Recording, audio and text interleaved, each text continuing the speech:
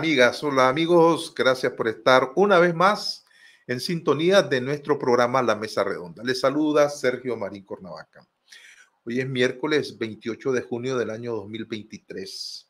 Hay muchas informaciones que vamos a comentar con nuestro amigo, el mayor en retiro, ingeniero y consultor eh, en, temas, en diversos temas, pero sobre todo en temas de defensa, de seguridad, el ingeniero Roberto Sancam. Ya está conectado Roberto. Roberto además es el director de el boletín a fondo, que toca temas muy importantísimos para la vida política eh, de Nicaragua, temas que nos mueve a la reflexión. Bienvenido Roberto, un gusto tenerte por acá. ¿Cómo estás? Hola Sergio, un placer estar de nuevo en tu programa. Todo bien y viendo estos acontecimientos que eh, de repente la semana pasada nos cayó lo que llamaría Oscar René un cisne negro con el, la rebelión de Yevgeny Prigozhin. Así que estamos. Eh, vamos a empezar, vamos a empezar por ahí, pero en realidad yo te voy a proponer, porque ese era el tema, un tema muy interesante la rebelión, entre comillas, del grupo Wagner contra, en contra de Putin. La pregunta es, ¿tendría eso alguna repercusión en la relación de Nicaragua con Rusia? Ahí, vamos a verlo. Pero también te propongo, y eso es algo que la audiencia tiene que, que conocer, que abordemos un pronunciamiento o un comunicado más bien de el grupo denominado Monteverde, que ya está publicado en la mesa redonda y también unas declaraciones que ha dado el presidente del Brasil, eh, Lula, sobre un planteamiento que va a hacer en el seno del foro de Sao Paulo. Son temas sumamente interesantes que debemos nosotros eh, eh, ventilar acá. Muchas gracias por estar acá. Empecemos con, con el tema de la rebelión del grupo Wagner en contra de Putin. Ayer, déjame decirte que ayer con el analista político eh, y el historiador Vladimir de la Cruz, él, no descarta que esto podría ser una maniobra eh, encubierta eh, de Putin con el director o con el jefe del grupo Wagner para resguardarse, ¿verdad? A vista y paciencia de toda la comunidad internacional en Bielorrusia para hacerle frente posteriormente a la OTAN. Eso fue lo que dijo ayer Vladimir. Te escuchamos entonces, Roberto, con esta primera eh, parte del programa. Sí, mira, eh, primero para salir un poco al paso del planteamiento de nuestro amigo y respetado eh, de la Cruz, creo que no, no es una, un montaje, no es un falso positivo hay que ver, digamos, una serie de acontecimientos que se vinieron dando en el tiempo a raíz del inicio de la invasión el 24 de febrero de Rusia a Ucrania, llamada por, por Putin como la misión, el, ¿cómo se llama? El esfuerzo militar especial, algo así. Le pusieron un nombre todo raro para esconder, pues, que es una, una invasión en toda regla. El, digamos, los primeros malestares se dan cuando eh, hay una pésima planificación de parte del Estado Mayor del ejército ruso, por parte del ministro de Defensa, Sergei Shoigu, cuando creen que en tres días, y se lo dicen a Putin, en tres días van a tomarse Kiev.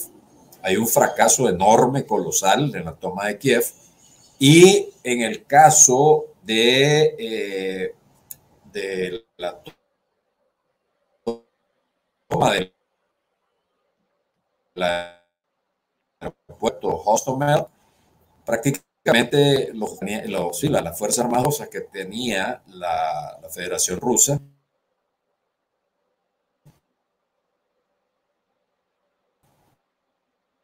Que pues, las fuerzas transportadas que son prácticamente desmanteladas.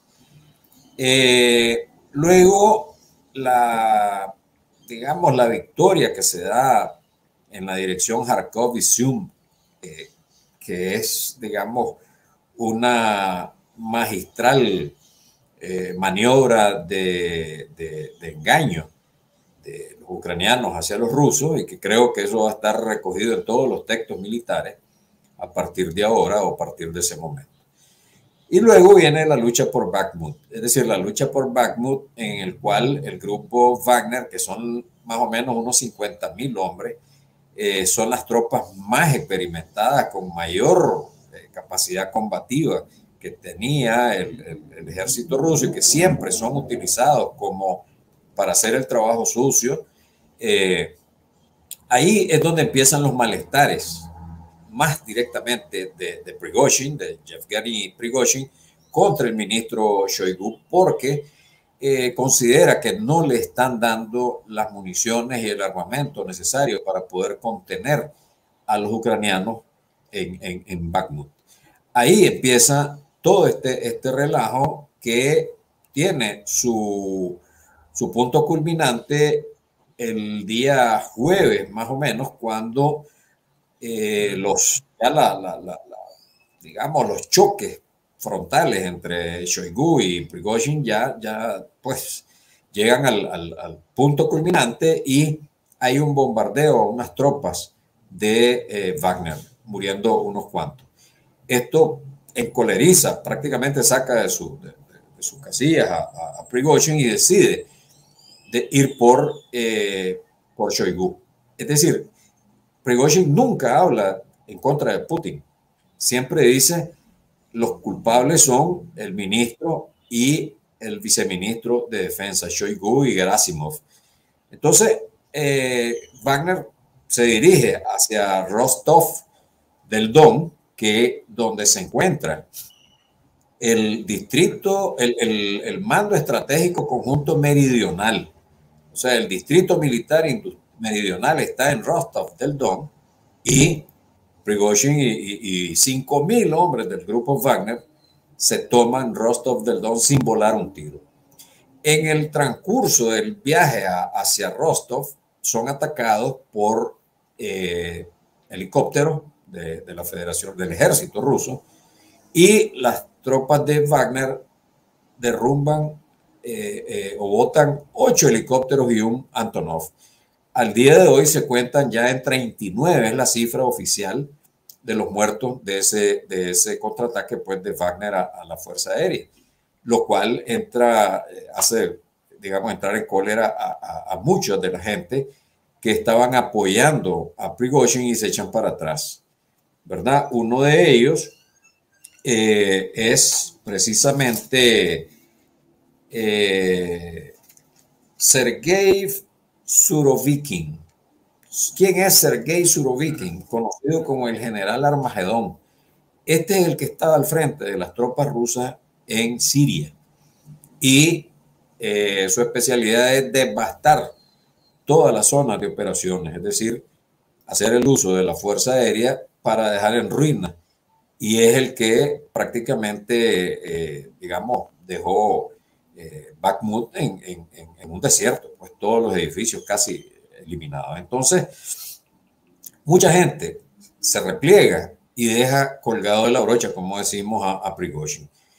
En el transcurso de, de, de, este relajo, que ya es el sábado, Prigozhin dice, voy para Moscú y llega sin ningún problema hasta Borones. Borones está a 300, 350 kilómetros de Moscú. Es decir, está a dos horas, tres horas de Moscú, sin volar un tiro, sin ninguna oposición. Es decir, ahí nadie se le, se le, se le enfrentó.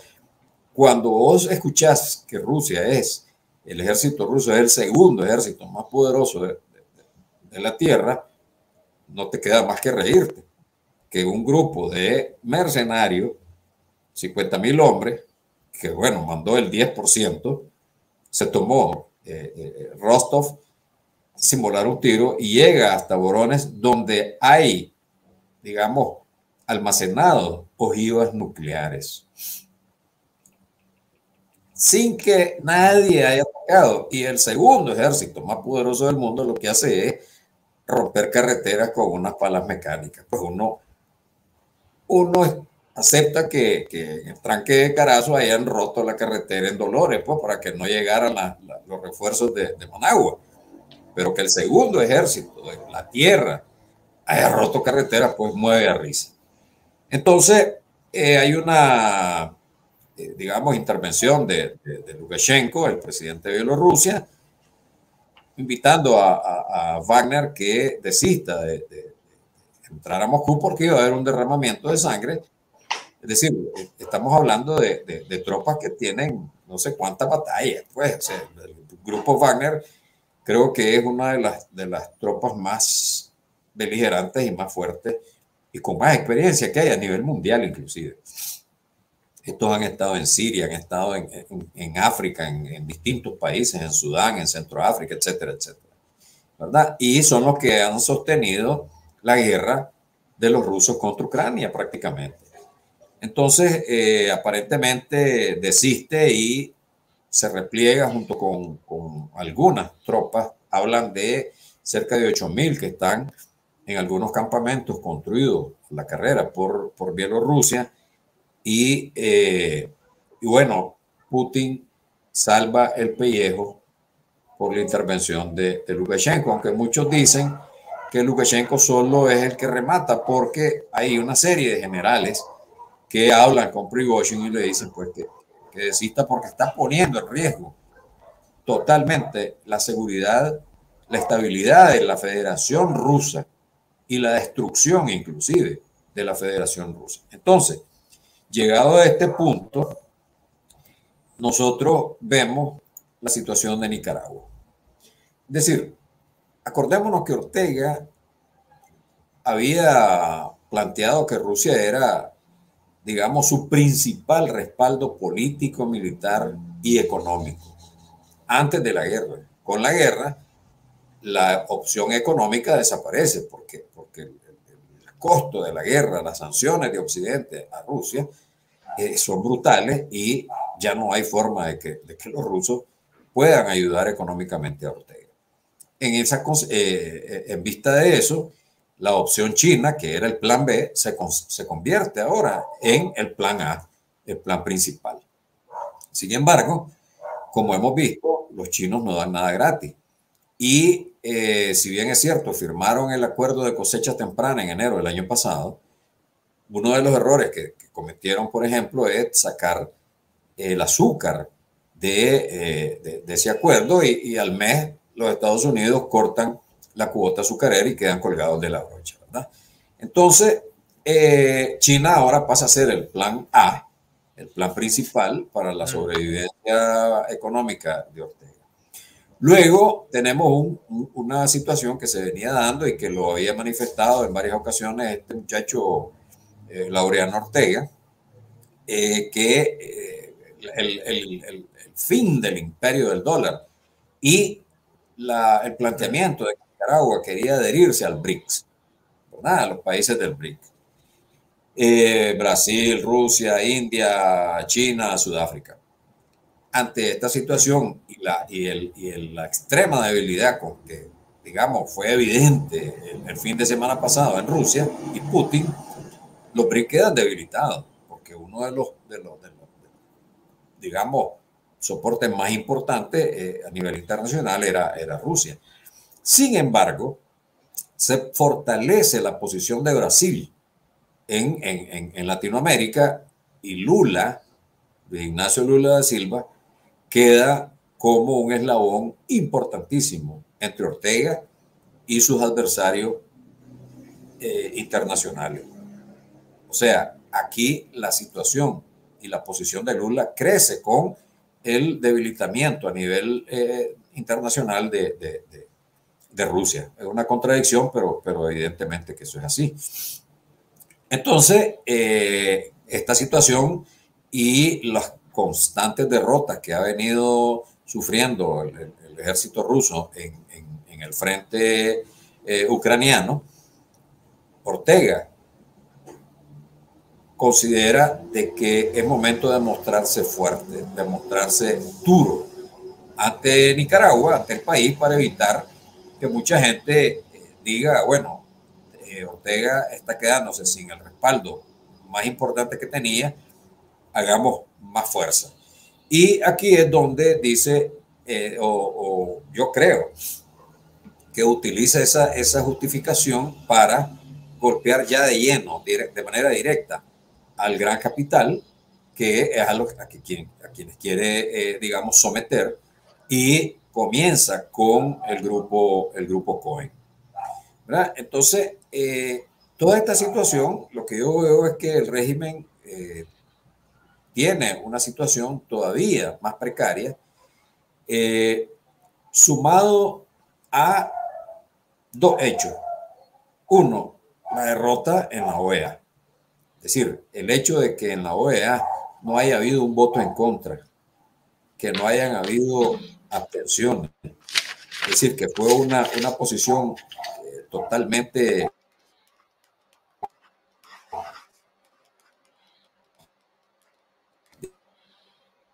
digamos, este, eh, todos los países, eh, aunque muchos dijera el tema, la situación de, de, la, de, atacar más directamente a Ortega, pero digamos, eso creo yo que es una, una victoria eh, en la OEA. Y ahora, el día de hoy, la posición de Lula da Silva y el planteamiento de que va a llevar al foro de Sao Paulo eh, la, digamos, una condena, una propuesta de condena a, a Ortega. Eso, digamos, creo que son algunos de los hitos que ya se mantiene, eh, ¿cómo se llama? En, la, en, el top de la, de, la, de la, información y de eh, la situación actual del régimen. Hay dos cosas que me llaman la atención. Por, un lado, eh, revisemos el tema de la de la moral de la tropa de los, de los ejércitos rusos. Eh, ¿Qué impacto podría tener esto en esa moral? Vimos cómo Putin actuó rápidamente, muy rápidamente, y, se encargó de no ir frontalmente contra el jefe de Wagner, pero indudablemente se refería a él y le abrió caso, ¿verdad? Como traidor. Eh, habló de, en términos muy fuertes. ¿Qué impacto tiene eso en la moral rusa? Ayer me decía Vladimir que no que no significó absolutamente nada, que las tropas ahí están, que no se dio ningún eh, movimiento, ¿verdad?, en contra de esta, eh, de esta política de Putin. Y por otro lado, tampoco se vio una reacción del ejército ucraniano. Eh, mira, la, la respuesta te la da la la contraofensiva que llevan en, digamos, dos ejes principales, Bakhmut y Zaporilla. Allí han avanzado y han recuperado cerca de 130 kilómetros, de 300 kilómetros cuadrados. Hay un avance eh, enorme y en más o menos en, en, en 15 días, máximo un mes, han recuperado mucho más del territorio que había capturado eh, este, Rusia. Estoy hablando territorio fuera de, Donetsk y Lugansk que, ya pues lo habían, lo habían anexado. ¿Qué pasa cuando se te van, y vamos al béisbol pues, cuando se te van tus mejores bateadores y se te van en los mejores pitchers y queda nada más con, con con los, con los jugadores así normalitos. Es decir, aquellos se sienten eh, atemorizados, sienten que se fue la mejor gente y que el, adversario le va a meter una media docena de carreras. Exactamente eso es lo que está pasando en el en el terreno de, de los hechos. Que los mejores combatientes que tenía el ejército ruso hayan salido, hayan salido, eso te dice mucho. Hay eh, noticias, videos, informaciones de que los comandantes militares están pasándole la cuenta, asesinando, eh, digamos, ejecutando a los soldados y oficiales que tomaron partido por Prigozhin, por Wagner. ¿Qué significa eso cuando estás desarrollando un, un esfuerzo bélico? Es decir, eh, tenés que tener concentrado todo tu, tu, personal sobre los objetivos de, de, la guerra. Y no estar peleando entre ellos quién me traicionó, quién estaba a favor de este, quién estaba a favor del otro. Pero además, la mejor tropa sale de Bakhmut, por ejemplo, y ves el avance de los ucranianos en Bakhmut, prácticamente haciendo una, una, una pinza, porque han avanzado por el norte, han avanzado por el sur, para rodear a las tropas que están ahí. Hemos visto que cruzaron el, lado eh, occidental del, del, del Dnieper. Es decir, hay un avance mucho más rápido a partir de este enredo que se tienen entre ellos mismos. Ahí la moral prácticamente eh, ha caído estrepitosamente y lo comprobás con el avance del ejército ucraniano hasta el día de hoy. que Rusia es parte del BRICS, donde está China, eh, India, Sudáfrica, Brasil. No me quedó claro este fortalecimiento de Lula con este hecho de la rebelión Wagner el fin de semana. ¿Por qué decir que Lula, Brasil, este, sale un poco fortalecida con este asunto? A nivel de Latinoamérica sale fortalecido. Es decir, ¿quiénes son los motores de los BRICS. Las locomotoras, China y Rusia. China y Rusia. Sacas a Rusia del juego porque Putin queda debilitado. Queda debilitado, la gente no sabe ni qué pensar ya, porque eh, cuando no dobla repica, dice son traidores, pero después al día siguiente dice este, que no, que va a perdonarlo a Prigozhin y que, y que no va a enjuiciarlo, y después al día siguiente eh, la Duma dice no, hay que enjuiciarlo. Es decir, ahí hay una contradicción enorme, pero además de eso, hay un desconcierto entre la cúpula militar y los oligarcas. Es decir, eso te da un nivel de debilidad de una de las dos locomotoras del país. La posición de Lula se fortalece en Latinoamérica en Latinoamérica, porque ya prácticamente eh, está considerada Brasil como la locomotorita en Latinoamérica. Y entonces, cuando Ortega, cuando el hijo, este, este laureano, dicen queremos pertenecer al BRICS, prácticamente deja en manos de Lula la decisión de si entran o no entran. Y lo vamos a ver si acepta la recomendación muy dura de la liberación de Monseñor Álvarez. Porque no es cualquiera el que le va a decir a Daniel, cometiste un error, es de grandes aceptar los errores, vos cometiste uno, metiste preso a alguien que no debías de haberlo metido, sacarlo. Eh, eso, es decir, cuando Lula hace eso, está sabiendo a qué se atiene. Ya, y se atiene precisamente a que está en desventaja Daniel en relación a él por el afán de entrar a los BRICS, que es la única posibilidad que tiene Ortega de acceder a mercados mucho más cercanos, porque esta gente parece que todavía no han entendido lo que es el costo del flete. Entre el puerto de Miami o los, los puertos de Miami, New Jersey, o New Orleans, perdón, o este, en, China, en Rusia o en Irán, ¿verdad? Solo un loco, un ignorante puede decir de que vas a sustituir las exportaciones a Estados Unidos con estos otros tres países. Entonces, lo más conveniente para, para Ortega es los BRICS a nivel de Latinoamérica, donde ya hay una lista de espera y, y él está en la lista haciendo fila. y el que va a tener el derecho de veto es Lula. Entonces, por eso es que yo te digo y, planteo de que la, la, posición de Lula entra en fuerza. Bueno, eh, ahora que estamos hablando de Lula, Lula nos ha venido dando sorpresas. Primero en la campaña electoral que lo llevó a la presidencia, se distanció muchísimo del Frente Sandinista y por lo tanto de la cúpula de esa estructura mafiosa. En primer lugar. En segundo lugar, sorprendió que en el ámbito de la OEA hubo amagos, ¿verdad? De que Brasil quería, eh, digamos, reducir la carga política de condena de la resolución de la OEA frente a eh, Nicaragua. Te recuerdo muy bien las declaraciones de la, de la, embajadora de Brasil en ese, en ese sentido en la OEA. Sin embargo, en la OEA, Brasil se sumó a la resolución. Primer elemento.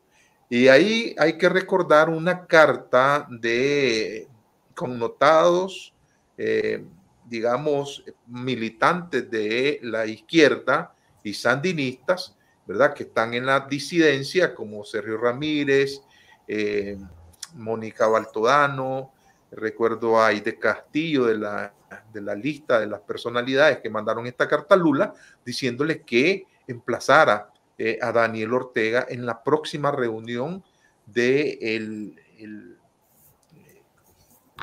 de, ¿cómo se llama? El, del Foro de Sao Paulo. Lo cierto es que hoy ha circulado la noticia de que Lula planteará al Foro de Sao Paulo aprobar una resolución contra el régimen de Ortega. Entonces aquí ya está Lula, ¿verdad? Representando al país eh, más, eh, con más fortalezas económicas en Latinoamérica, eh, una posición política de condena al régimen desde, desde los partidos que forman parte de la izquierda. Voy a leer algunos aspectos de la nota, ¿verdad? Que ya está publicada en la mesa redonda. El presidente de Brasil, Luis Ignacio Lula da Silva, ha planteado la posibilidad de que en la próxima reunión del Foro de Sao Paulo, que se celebrará esta semana en Brasilia, el grupo apruebe una resolución para condenar los crímenes del régimen nicaragüense Daniel Ortega, según adelantaron fue, fuentes del Palacio del Planalto. Este cambio de rumbo de Lula con respecto a Ortega quedó plasmado también la semana pasada como Brasil se sumó a una resolución similar redactada por la Organización de Estados Americanos. Ahí está la nota. A pesar de la irritación, tal ha sido calificada la sensación de Lula con Ortega por varios miembros de su gabinete consultado por eh, el portal Metrópolis. El presidente brasileño sigue siendo partidario de mantener una vía de comunicación abierta con el régimen de Nicaragua y no cerrarse en banda como han hecho otros países. O sea, esto abre una posibilidad de atenazar la voluntad política del régimen de Daniel Ortega en cuanto a presos políticos y abrir una negociación con seriedad. Te pregunto, Roberto. Sí, mira, me gustaba más la foto donde le tiene casi la, mano sobre la cabecita a Ortega, tratándolo como un, ya la vamos a poner, entonces. Travieso, como un muchacho travieso. Mira, todo esto la gente cree que es eh, cosa del azar o que, que, Lula de repente se levantó y dice voy a, ahí está, eh, voy a darle en la cabeza a este muchacho, a este muchacho bandido, travieso, criminal. Yo recuerdo, yo llamo más bien a, recordar eh, a inicios de mes la, visita que hizo Mónica Baltodano y Julio López a Brasil y a Uruguay. En Brasil se entrevistó con gente del círculo cercano, inmediato de Lula, que son los que le dicen al oído, eh, mira, esta situación es por aquí, esto es por allá, yo creo que es conveniente, o sabes, todos los asesores que están ahí.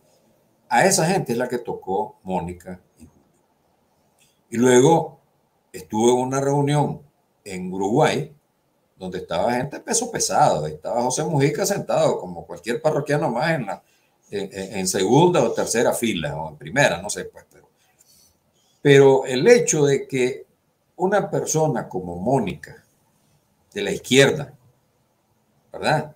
Disidente del sandinismo, tenga la posibilidad de tocar esas puertas, te dice mucho.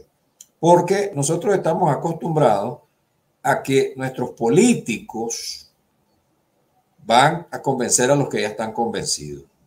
Yo recuerdo en, un foro que tuvimos en Nueva York, donde estaba Paulita Bertol, es, era ex embajadora eh, de, Chile o de Argentina, de Chile, sí, en la OEA, o Argentina creo, en la OEA, y decía que llegaba un montón de gente a hablar con ella, entonces dice, está bien, yo lo, yo lo, me encanta hablar con ustedes, pero yo ya estoy convencida, le dice vayan a hablar con los que no están convencidos todavía. Esa es la labor que está haciendo Mónica. Esa es la labor que hizo un grupo de disidentes del sandinismo, eh, mandando una carta al, al foro de Sao Paulo. Esos son los resultados concretos de acciones políticas contundentes. Ir a convencer a los que están, no están convencidos y que forman parte del grupo de apoyo de Ortega y que vienen de los países de izquierda que son mayoría en Latinoamérica. Entonces, creo que por ahí es donde ojalá eh, esta recomendación de Lula en el foro de Sao Paulo, eh, que más bien me da la impresión que es una bola cantada, como decimos, ¿verdad? Bola cantada, es decir, voy a hacer esto, Daniel, así que lo que te pedí, eh, toma nota para que no tenga necesidad de ir a proponer esto. Entonces, ahí sí puede ser pues que, que haya un, de que Lula le esté cantando hoy con bola recia eh, sobre el centro del plato, así que listate, ¿verdad? Eso es más o menos lo que yo creo, pero no es por, por cosas que cayeron del azar. Eh, ahí hay que, hay que reconocer el, el trabajo de Mónica, de Julio, de Sergio Ramírez, de Luis Carrión, de, un montón de gente que ha firmado una carta, han dado la cara, aún pues encima de, la rabia del tranque de Miami, de toda la gente de derecha y ultraderecha, que quisieran ver pues este, reducidos a ceniza a toda la disidencia del sandinismo, Sergio bueno, el, presidente Lula también dijo que no, no iba a ser fácil, pues, ¿verdad? Eh, persuadir a tantos delegados de diversos partidos de la izquierda latinoamericana. ¿Por qué? Porque él dijo que reconocía que no sería un asunto fácil, entre otras cosas, porque en referencia a Ortega, ni, ni todo el mundo tiene la grandeza para pedir disculpas. Me voy a explicar, voy a citar a Lula. Abro comillas, la palabra perdón es sencilla, pero requiere mucha grandeza reconocer que se cometió un error. No todos los hombres tienen el coraje de decir, me equivoqué, voy a cambiar de opinión. Hay que estar convencido, dijo Lula. La reunión, ¿verdad?, que está planteada para este jueves de la reunión del Foro de Sao Paulo, un grupo de partidos eh, y organizaciones de la izquierda latinoamericana contará, además de la presencia de Lula, eh, en la jornada inaugural, así como de representantes del Frente Sandinista, el Partido Oficialista de Nicaragua. Así es que vamos a ver qué sale de ahí. Está planteado también un encuentro para la próxima semana de eh, Sergio Ramírez, ¿verdad? Con algunos partidos de la izquierda latinoamericana en este contexto de la reunión del, Foro de Sao Paulo. Eh, pero además quiero ligar esto, Roberto, a mm, la situación de un hecho significativo, un comunicado que también está publicado ya en la mesa redonda, donde se habla específicamente de un encuentro entre opositores nicaragüenses que aseguran en ese comunicado que han logrado unirse y trabajar en conjunto para enfrentar a la dictadura de Nicaragua. Me gustaría tus comentarios en ese sentido porque también quiero referirme a un escrito publicado por el analista Onofre Guevara hoy en Confidencial, donde hace algunas reflexiones sobre el tema de la unidad. Esto cuando regresemos de mensajes. Okay.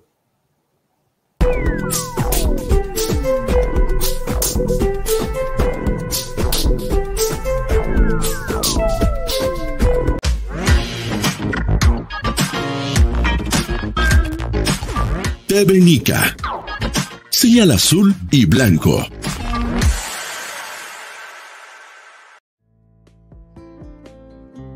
¿Y de ahí, papá? Lo veo preocupado. Es que nunca me había sentido tan frustrado como maestro por todo esto que está pasando con la educación. ¿Te referís al sistema de evaluación a los alumnos para que todos aprueben? Sí, amor, es una total estafa a todas las familias. Tantos años empeñado en enseñar y ahora este régimen quiere que todos los chavalos aprueben, aprendan o no aprendan. Un desastre. ¿Cómo vamos a tener prosperidad sin una buena educación? Es que esa gente quiere que seamos una sociedad muy mediocre, sin conciencia crítica. Imagínense que ya han cerrado 18 universidades privadas en menos de dos años. Y eso no es lo peor. Los libros que nos obligan a usar en las clases están llenas de manipulación y mentiras. Fíjate que el libro que utilizó en las clases de ciencias sociales de primer año hablan de que vivimos en una Nicaragua en libertad, de respeto a la ley, sin represión, sin presos políticos, sin torturas. Un paraíso pues, y eso es lo que usamos para educar a nuestros niños y jóvenes. Y no solo nos están negando el derecho a una educación digna, quieren además tener ciudadanos anestesiados. De verdad, lo siento mucho, papá, por vos, pero también por mí.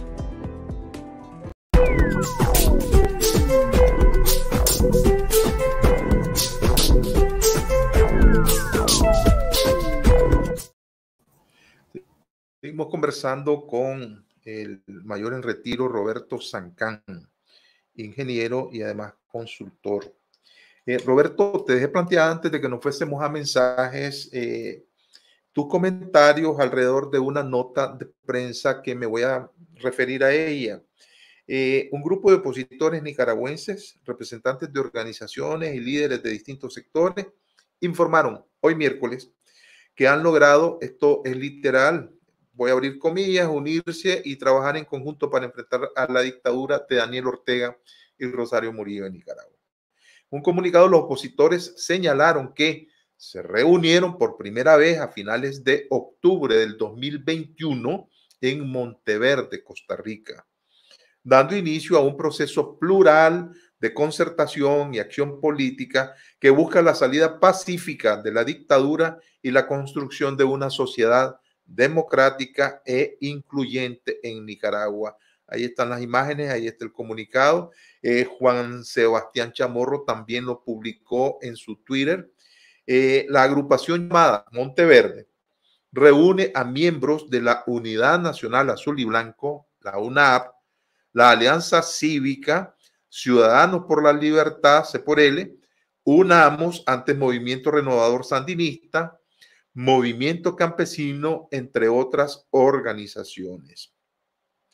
En este encuentro participaron Juan Sebastián Chamorro, Félix Maradiaga, Violeta Granera, José Palé, Héctor Mairena, Jesús Teffel, Medardo Mairena, Alexa Zamora, Alex Hernández, José Antonio Peraza, Daisy George, Luciano García, Juan Diego Barberena, María Laura Alvarado, Ana Quirós, entre otros que pidieron a, dentro de esa organización no salir sus nombres en el comunicado, según nos dijo su relacionista. Voy a citar aquí nuevamente el texto. Abro comillas. Es importante destacar que a pesar de las dificultades, la oposición nicaragüense ha logrado unirse y trabajar en conjunto para enfrentar a la dictadura.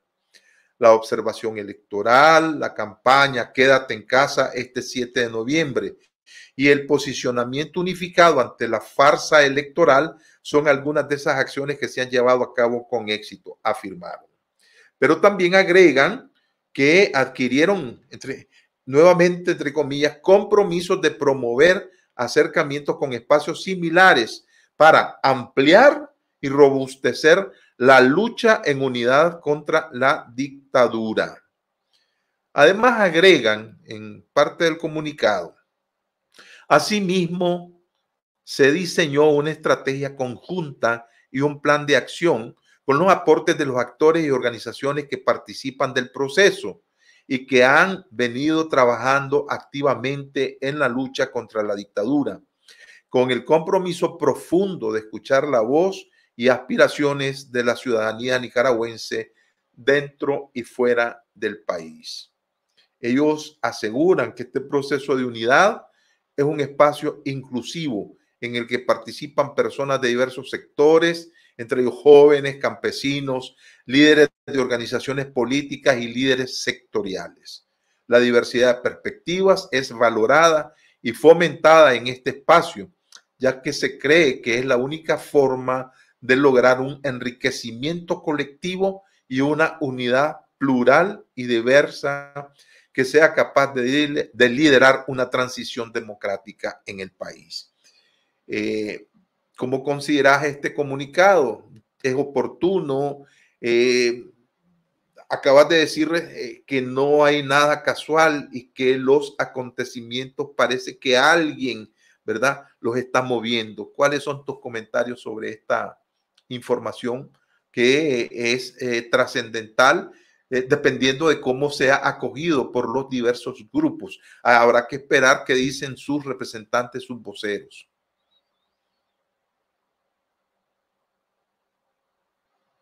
No te escuchamos, tienes tu audio ahí. Ya, adelante, adelante. Mm. Antes de, referirme al, comunicado, quiero tocar el último punto que, mencionaste antes de irnos al cambio comercial. El tema de la carta que va, o, la gira que va a hacer Sergio Ramírez a varios países o, a varios, o con varios partidos políticos de izquierda. Creo que eso es lo que hay que hacer pero no solamente eso, hay que apuntar a la gente que está apoyando o que está en duda, eh, digamos, basado en la narrativa que ha desarrollado Ortega, que ha sido muy consistente en, el sentido de, mantenerla durante tanto tiempo después de la Comisión de Crímenes de lesa Humanidad.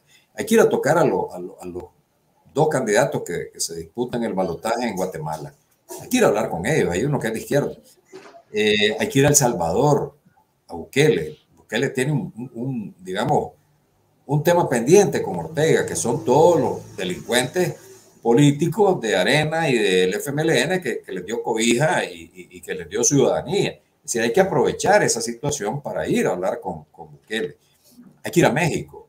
Hay gente que conoce a, algunos de los que van a, a, ser los candidatos en las próximas elecciones.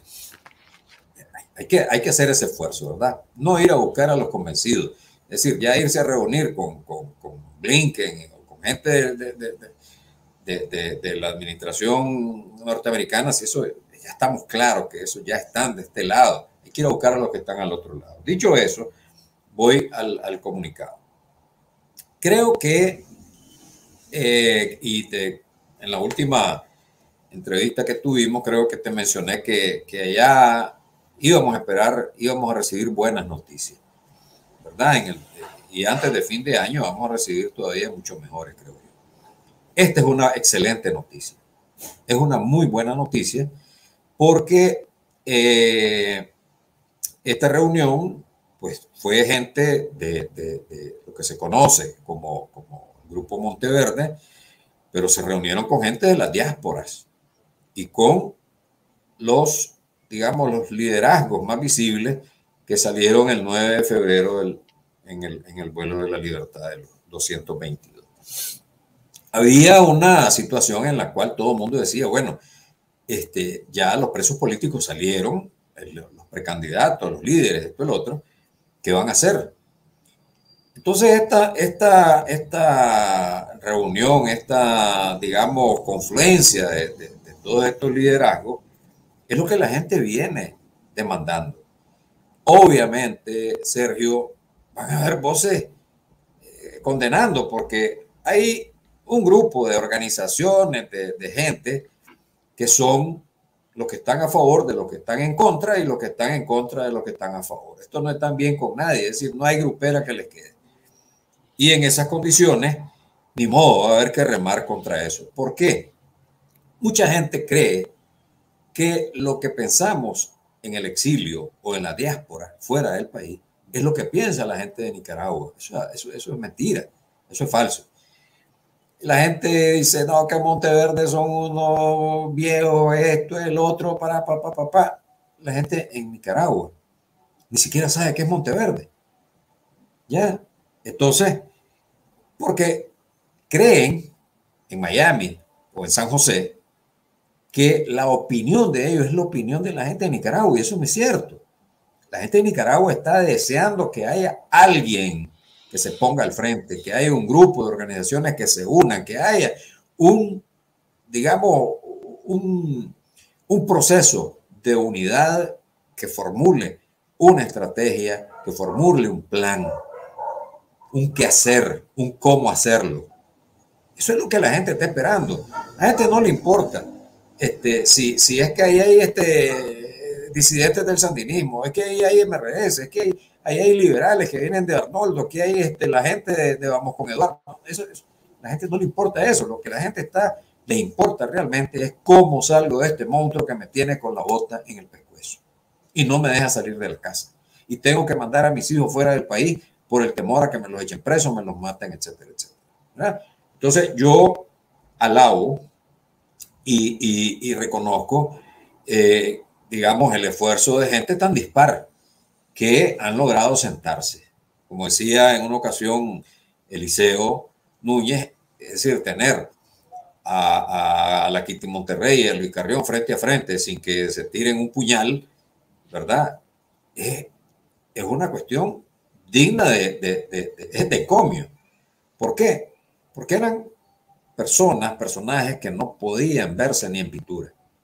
Y entonces demuestra un grado de madurez al cual tal vez no ha sido voluntario, ha sido forzado por las circunstancias.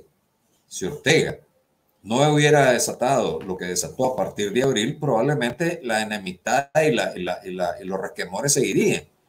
Pero ves que ya hay gente que se sienta, que platica, que conversa, y eso es importantísimo. Gente de la diáspora, ¿verdad? Que en las diásporas hay, como he dicho siempre, hay diásporas de diáspora.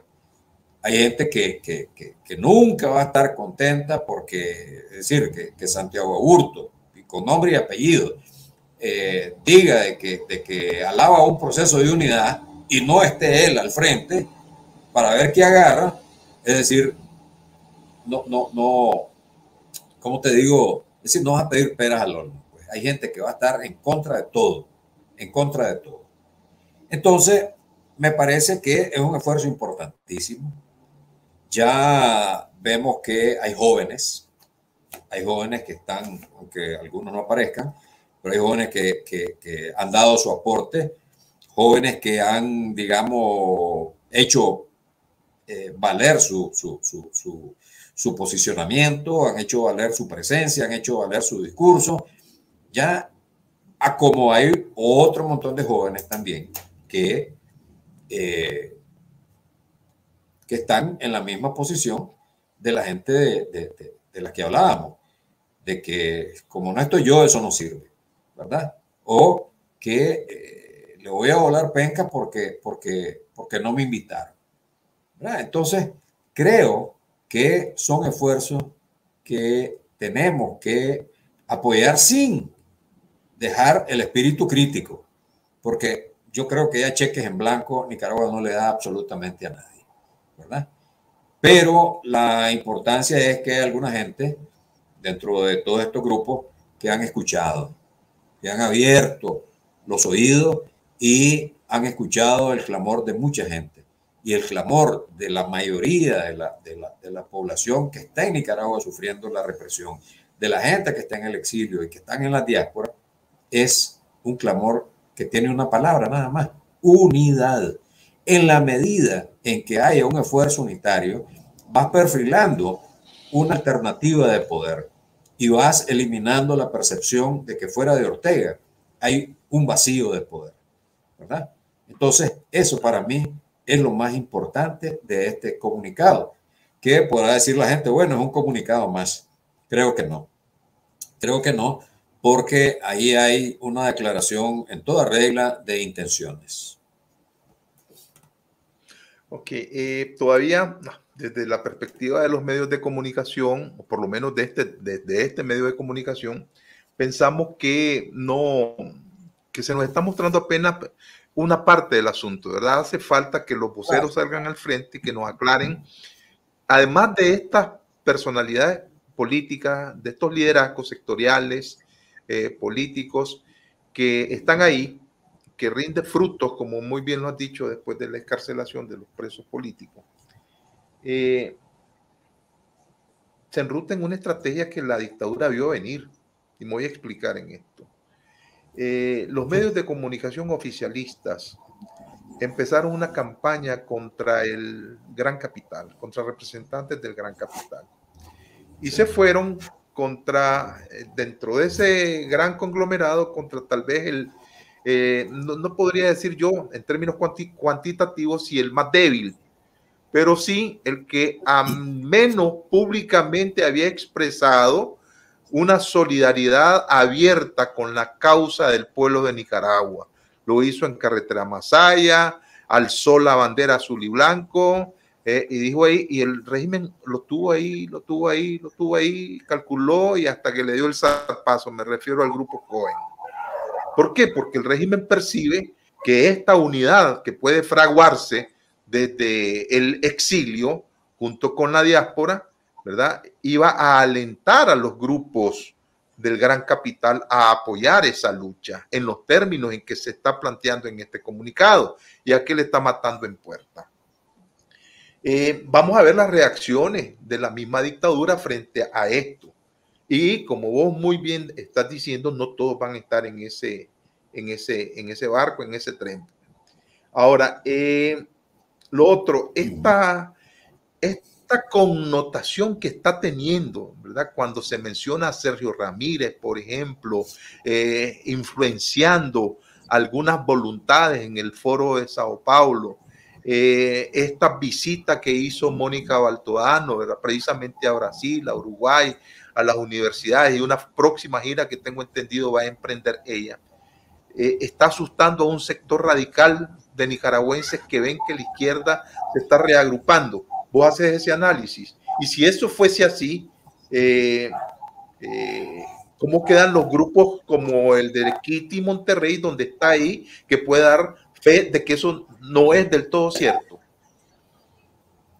Mira, creo que no reconocer la importancia y el aporte que en esta coyuntura pueda dar la disidencia del sandinismo es, ser miope, ¿verdad? Vos podés mantener una eh, oposición a la izquierda ultranza y negar todo lo que, el aporte que se puede hacer y, empezar a recurrir a, los estereotipos que han venido recurriendo desde hace años. No, que los sandinistas, que los militares, que la, este, ¿cómo se llama? Que la, Navidad Roja, que esto, que el otro. Para eh, decir, este es el momento de mandar a la hoguera a todo lo que huela a sandinismo porque esa es la mentalidad.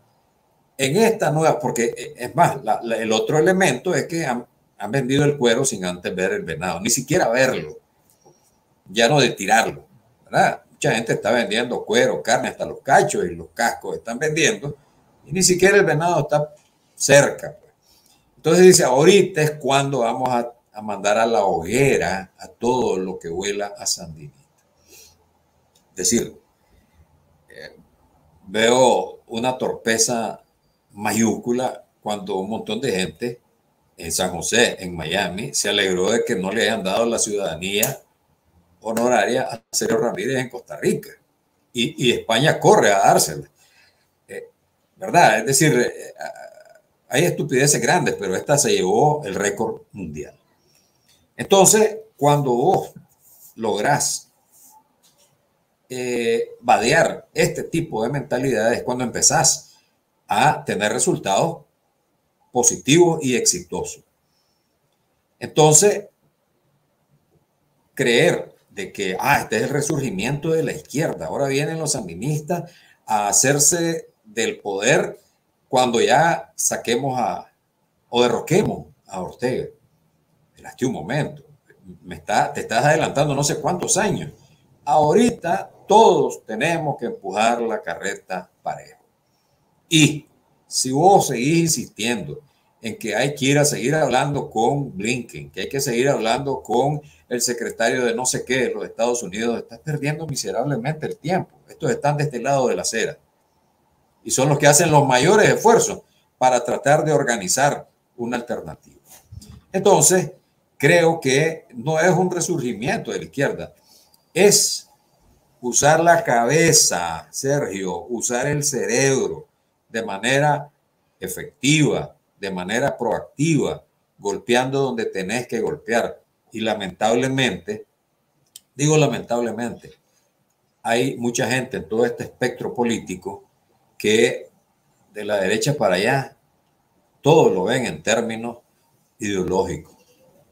Y del otro lado, hay gente que dice, hagamos el trabajo que tengamos que hacer para que podamos unir un frente común internacional en contra de Ortega. Así de sencillo, pues ahí no hay que buscarle este, pelos a la, sopa, ni, ni, si el chaleco tiene mangas o si el gato tiene tres piernas, tres patas. Pues, ¿Verdad? Es un problema de sentido común. Y yo veo con más sentido común a gente que está del lado de la izquierda que de los que están a la ultraderecha. Pues.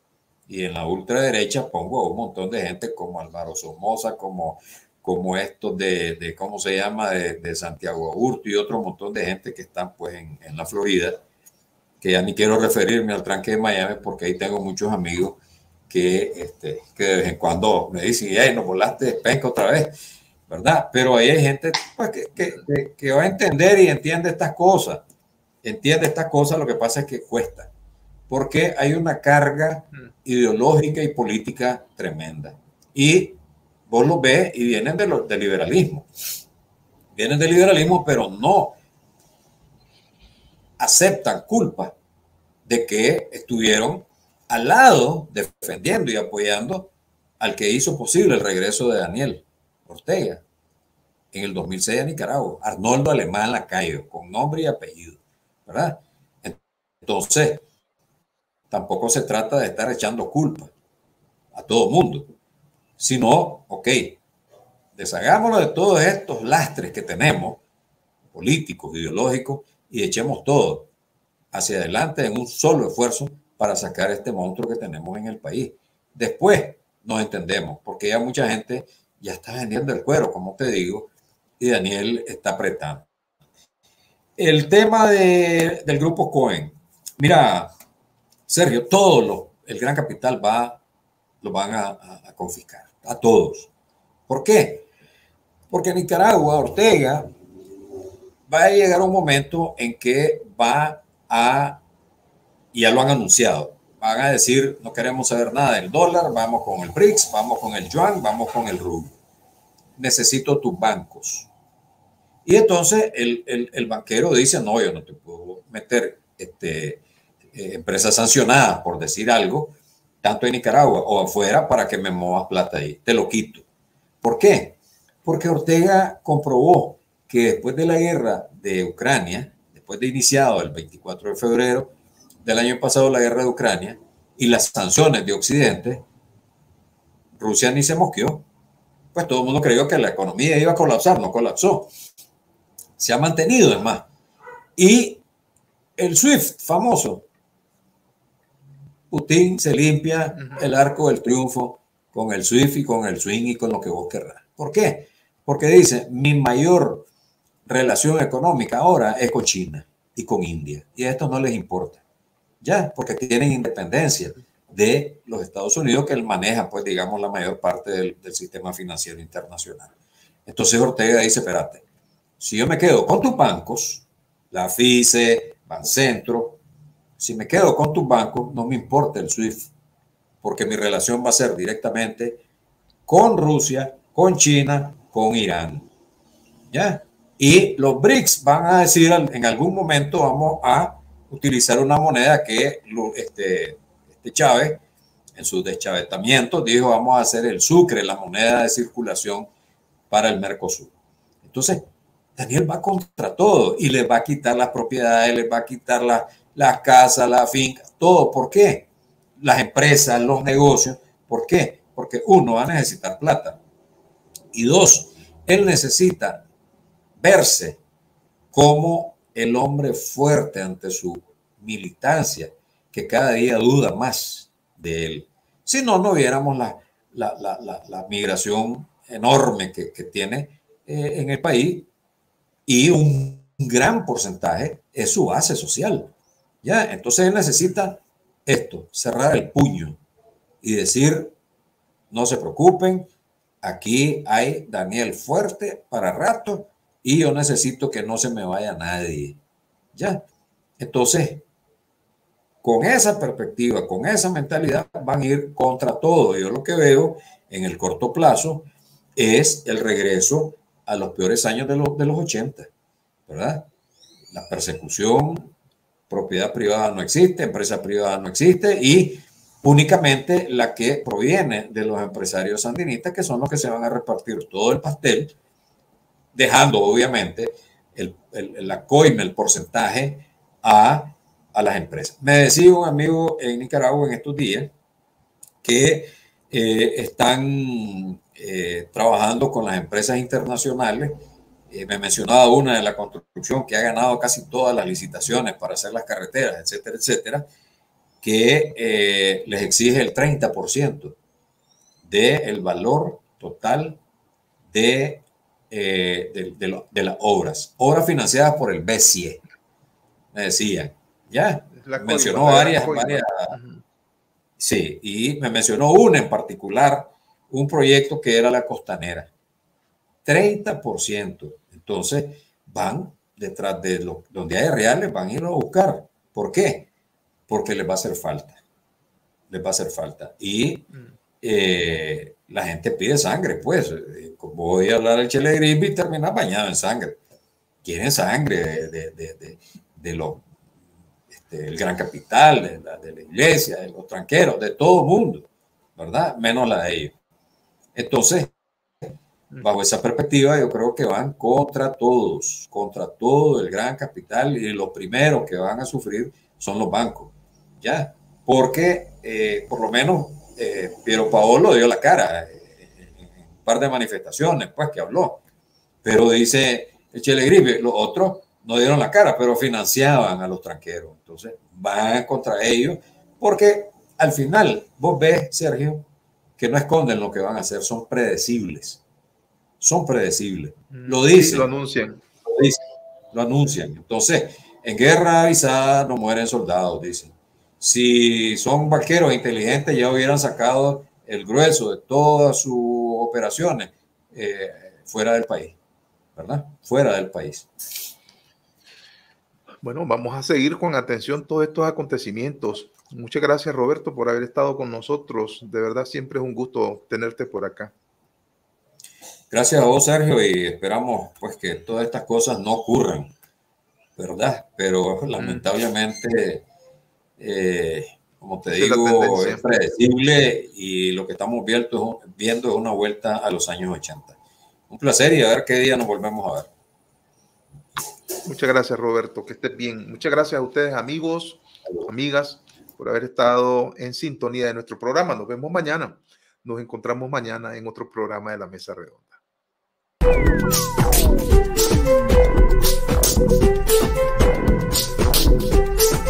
Música